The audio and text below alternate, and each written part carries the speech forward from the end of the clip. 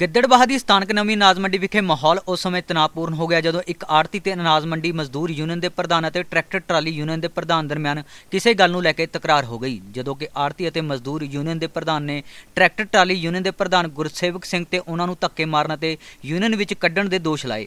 ਉਕਤ ਮਾਮਲੇ ਤੇ ਰੋਸ ਵਿੱਚ ਆਏ ਆੜਤੀ ਪਰਸ਼ੋਤਮ ਲਾਲ ਅਨਾਜ ਮੰਡੀ ਮਜ਼ਦੂਰ ਯੂਨੀਅਨ ਦੇ ਪ੍ਰਧਾਨ ਪੂਰਨ ਚੰਦ ਸਮੇਤ ਸੈਂਕੜਿਆਂ ਦੀ ਗਿਣਤੀ ਵਿੱਚ ਮਜ਼ਦੂਰਾਂ ਨੇ ਨਵੀਂ ਅਨਾਜ ਮੰਡੀ ਦੇ ਦੋਵੇਂ ਗੇਟ ਬੰਦ ਕਰਕੇ ਉਹਨਾਂ ਨੂੰ ਤਾਲੇ ਲਗਾ ਦਿੱਤੇ। ਅਤੇ ਯੂਨੀਅਨ ਦੀ ਕੋਈ ਵੀ ਟਰੈਕਟਰ ਟਰਾਲੀ ਨੂੰ ਮੰਡੀ ਵਿੱਚ ਦਾਖਲ ਨਹੀਂ ਹੋਣ ਦਿੱਤਾ। ਮਾਮਲਾ ਜੀ ਅਸੀਂ ਤਾਂ ਮਹਿਕਮੇ ਨੂੰ ਦੇਣੀਆਂ ਜੀ 120 ਟਰਾਲੀਆਂ ਜਿਹੜਾ ਪਰਸ਼ੋਤਮਾ ਆੜਤ ਗਿਆ ਉਹ ਧੱਕੇ ਨਾਲ ਟਰੈਕਟਰਾਂ ਨੂੰ ਇੱਥੋਂ ਖਿੱਚ ਖਿੱਚ ਕੇ ਜਾਂਦਾ ਸੀ ਬਾਹਾਂ। ਅਸੀਂ ਕਿਹਾ ਵੀ ਅਸੀਂ ਮਹਿਕਮੇ ਨੂੰ ਦੇਣੀਆਂ ਟਰਾਲੀਆਂ ਮਹਿਕਮਾ ਕਿਸੇ ਨੂੰ ਦੇਵੇ ਆੜਤ ਨੂੰ ਕਿਸੇ ਨੂੰ ਨਾ ਦੇਵੇ ਮਹਿਕਮੇ ਦਾ ਮਤਲਬ ਹੈ ਜੀ। ਅਸੀਂ 120 ਟਰਾਲੀਆਂ ਮਹਿਕਮੇ ਨੂੰ ਦੇ ਦਿੰਦੇ ਜੀ ਕੱਢ ਕੇ ਅੱਡੋ ਅੱਡੀ ਏਜੰਸੀਆਂ ਨੂੰ। ਜਿਵੇਂ ਬੈਰ ਉਸ ਨੂੰ 40 ਕੱਟਦੀਆਂ ਕਿਸੇ ਨੂੰ 20 ਕੱਟਦੀਆਂ ਕਿਸੇ ਨੂੰ 30 ਕੱਟਦੀਆਂ ਜਿਵੇਂ ਜਿਵੇਂ ਮਾਲ ਪਿਆ ਜੀ ਉਵੇਂ ਉਵੇਂ ਕੱਟਦੀਆਂ ਸਾਡਾ ਕਿਸੇ ਨਾਲ ਕੋਈ ਮਤਲਬ ਨਹੀਂ। ਅਸੀਂ ਇੰਸਪੈਕਟਰ ਨੂੰ ਟਰਾਲੀਆਂ ਦੇ ਦਿੰਦੇ ਇੱਕ ਅਨਾਜ ਮੰਡੀ ਮਜ਼ਦੂਰੀ ਯੂਨੀਅਨ ਦੇ ਜਿਹੜੇ ਪ੍ਰਧਾਨ ਆ ਪੂਰਨ ਸਿੰਘ ਉਹਨਾਂ ਨੇ ਤੁਹਾਡੇ ਤੇ ਇਲਜ਼ਾਮ ਲਗਾਇਆ ਕਿ ਉਹਨਾਂ ਨੂੰ ਧੱਕਾ ਮੁੱਕੀ ਕੀਤੀ ਗਈ ਅਸੀਂ ਕਿਸੇ ਨਾਲ ਬਾਹਰ ਕੱਢਿਆ ਗਿਆ। ਲੇਬਰ ਜੂਨੀਅਰ ਦੇ ਪ੍ਰਧਾਨ ਨੂੰ ਜਾਂ ਕਿਸੇ ਨੂੰ ਅਸੀਂ ਕਿਸੇ ਨੂੰ ਬਾਹਰ ਨਹੀਂ ਕੱਢਿਆ ਜੀ ਧੱਕੇ ਨਾਲ। ਉਹਨਾਂ ਨੂੰ ਐ ਆਖਿਆ ਸੀਗਾ ਵੀ ਪਕਾਰ ਹੋ ਜਾਂਦੇ ਹੋ ਭਾਈ ਇੰਸਪੈਕਟਰਾਂ ਤੋਂ ਗਾਲੀਆਂ ਲੈ ਲਓ ਜੀ ਜਾ ਕੇ। ਕਿਸੇ ਨੂੰ ਕੋਈ ਧੱਕਾ ਨਹੀਂ ਮਾਰਿਆ ਮੁੱਕੀ ਨਹੀਂ ਮਾਰੀ। ਕੱਲ ਵੀ ਕੱਲ ਵੀ ਸਾਡੀ ਇਹੀ ਗੱਲ ਹੋਈ ਆ ਤਹਿਸੀਲਦਾਰ ਸਾਹਿਬ ਬੈਠੇ ਸੈਕਟਰੀ ਸਾਹਿਬ ਬੈਠੇ ਸੀਗੇ। ਵੀ ਅਸੀਂ ਆਖਿਆ ਸੀਗਾ ਜੀ ਅਸੀਂ ਆੜਤੀਆਂ ਨੂੰ ਦੇਣੀਆਂ ਆੜਤੀਆਂ ਨੂੰ ਦੇਣੀਆਂ ਟਰਾਲੀਆਂ ਜਾਂ ਇੰਸਪੈਕਟਰਾਂ ਨੂੰ ਦੇਣੀਆਂ ਜੀ। ਆੜਤੀ ਇੱਥੇ ਆ ਕੇ ਜਾਣ ਕੇ ਖਰਾਬ ਕਰਦੇ ਆ ਜੀ ਟਰੈਕਟਰ ਟਰਾਲੀ ਯੂਨੀਅਨ ਚ ਗਈ ਸੀ। ਜੀ।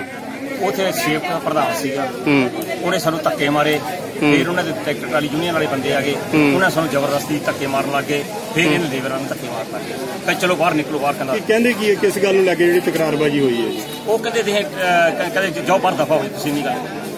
ਕਿਸ ਗੱਲ ਨੂੰ ਲੈ ਕੇ ਤਾਂ ਹੋਈ ਹੋਣੀ ਟਰਾਲੀ ਟਰਾਲੀ ਦੇ ਟਰੈਕਟਰ ਟਰਾਲੀ ਲੈਣ ਗਏ ਸੀਗੇ ਜੀ। ਹੂੰ। ਆਪਣੇ ਲੇਬਰਾਂ ਇਹਦੇ ਵਾਸਤੇ ਵੱਲੋਂ। ਲਿਫਟਿੰਗ ਵਾਸਤੇ ਜੀ। ਸੀਗਾ ਮੈਂ ਉਦੋਂ ਹੀ ਆਇਆ ਮੌਕੇ ਤੇ ਆ ਕੇ ਗੇਟ ਖਿਲਾ ਲਿਆ।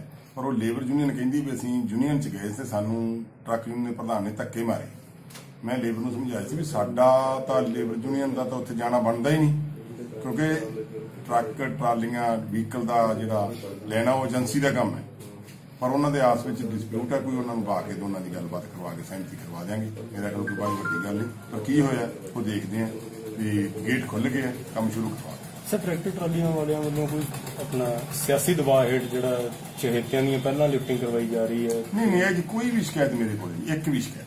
ਕਿਸੇ ਬੰਦੇ ਨੇ ਕਿਹਾ ਮੇਰੀ ਕੁਝ ਲਿਫਟਿੰਗ ਦੀ ਤਾਂ ਪ੍ਰੋਬਲਮ ਹੈ ਵੀ ਕਿਉਂਕਿ ਕਣਕ ਬੜੀ ਫਾਸਟ ਆਈ ਲਿਫਟਿੰਗ ਚ ਲੱਗਣੇ ਸੀ 20 25 ਦਿਨ ਲੱਗ ਹੀ ਜਾਂਦੇ ਆ ਹਮੇਸ਼ਾ ਹਰ ਸਾਲ। ਉਹਦੇ ਕਰਕੇ ਇਹ ਵੀ ਮਾਲ ਮੰਡੀ ਚ ਡੰਪ ਹੋ ਗਿਆ। ਪਰ ਇਹ ਜੀ ਕੋਈ ਵੀ ਮੇਰੇ ਕੋਲ ਇੱਕ ਵੀ ਸ਼ਿਕਾਇਤ ਨਹੀਂ ਸਿੰਗਲ ਵੀ ਵੀ ਕਿਸੇ ਨੇ ਕਿਹਾ ਮੇਰਾ ਮਾਲ ਨਹੀਂ ਚੱਕਿਆ ਜਾਂਦਾ ਕਿਸੇ ਸਿਆਸੀ ਜਾਂ ਕਿਸੇ ਹੋਰ ਕਾਰਨ ਇਹ ਜੀ ਕੋਈ ਸ਼ਿਕਾਇਤ ਟਰਾਲੀਆਂ ਮੰਗਣ 8 ਵਜੇ ਵਾਲੀ ਪੁਕਾਰ ਦੇ। ਜੀ। 8 ਵਜੇ ਵਾਲੀ ਪੁਕਾਰ ਦੇ ਉਹਨਾਂ ਦੇ ਪ੍ਰਧਾਨ ਸੇਵਕ ਸਿੰਘ ਜੀ। ਹੂੰ। ਸੇਵਕ ਸਿੰਘ ਨੇ ਸਾਡੇ ਬੰਦੇ ਨਾਲ ਕੀਤੀ ਧੱਕੇਸ਼ਾਹੀ ਹੂੰ। ਨਾਲੇ ਮਾਰੇ ਇਹਨਾਂ ਦੇ ਧੱਕੇ। ਹੂੰ। ਫਿਰ ਜੀ ਨਾ ਤੁਹਾਡਾ? ਪਰਸ਼ੋਤਮ ਜੀ ਨੇ ਧੱਕੇ ਮਾਰੇ ਨਾਲੇ ਮਾਰੇ ਮੇਰੇ ਧੱਕੇ ਉਹਨਾਂ ਨੇ ਹੂੰ। ਮੈਂ ਉਹਨਾਂ ਨੂੰ ਕਿਹਾ ਮੈਂ ਕਿਹਾ ਮੈਂ ਪ੍ਰਧਾਨ ਹੈ। ਕਹਿੰਦੇ 50 ਵਜੇ ਦਾ ਪ੍ਰਧਾਨ ਤੁਰੇ ਫਿਰਦੇ। ਅੱਛਾ। ਉਹ ਮੰਗਦੇ ਆ 100 ਰੁਪਏ 200 ਰੁਪਏ ਗੇੜਾ। ਹੂੰ। ਤੇ ਸਾਡਾ ਇੱਕੋ ਹੀ ਰਾਏ ਜੀ ਵੀ ਹਰੇਕ ਨੂੰ ਬਰੋਬਰ ਟਰਾਲੀ ਦਿੱਤੀ ਜਾਵੇ ਤਾਂ ਕਿ ਸਾਡਾ ਲੇਬਰ ਵਾਲਾ ਬੰਦਾ ਹੀ ਭੁੱਖਾ ਨਾ ਮਰੇ ਤੇ ਨਾ ਸਾਡੇ ਬੰਦੇ ਦੁਖੀ ਹੋ ਹੂੰ। ਹਰੇਕ ਬੰਦੇ ਨੂੰ ਬਰੋਬਰ ਟਰਾਲੀਆਂ ਦਿੱਤੀਆਂ ਜਾਣ ਦੋ ਦੋ ਤਿੰਨ ਤਿੰਨ ਗੇੜੇ ਹਰੇਕ ਦੇ ਲਵਾਏ ਜਾਣ। ਕੋਈ ਵੀ ਪਿੰਡ ਸਾਡਾ ਇਹ ਨਾ ਕਹੇ ਵੀ ਮੈਨੂੰ ਟਰਾਲੀ ਨਹੀਂ ਮਿਲੀ। ਠੀਕ ਹੈ ਜੀ? ਪੂਰਨ ਜੀ ਕਿਸੇ ਮਾਰਕੀਟ ਕਮੇਟੀ ਦੇ ਅਧਿਕਾਰੀ ਨਾਲ ਤੁਹਾਡੀ ਗੱਲਬਾਤ ਹੋਈ? ਨਹੀਂ ਜੀ, ਹਜੇ ਤੱਕ ਕਿਸੇ ਨਾਲ ਗੱਲ ਨਹੀਂ ਹੋਈ ਜੀ। ਅੱਗੇ ਦੀ ਕੀ ਰਣਨੀਤੀ ਹੈ? ਅੱਜ ਤੁਸੀਂ ਜਿਹੜਾ ਮਾਰਕੀਟ ਕਮੇਟੀ ਦਾ ਗੇਟ ਬੰਦ ਕੀਤਾ ਹੋਇਆ ਟਰਾਲੀਆਂ ਅੱਗੇ ਰਣਨੀਤੀ ਇਹੀ ਹੈ ਜੀ। ਜੇ ਸਾਡੇ ਨਾਲ ਸਹਿਮਤ ਹੋਣਗੇ ਤਾਂ ਗੇੜੇ ਚੱਕ ਸਕਦੇ ਨਹੀਂ ਤਾਂ ਅਸੀਂ ਗੇੜੇ ਨਹੀਂ ਚੱਕਣ। ਦਿੰਦੇ ਟਰਾਲੀ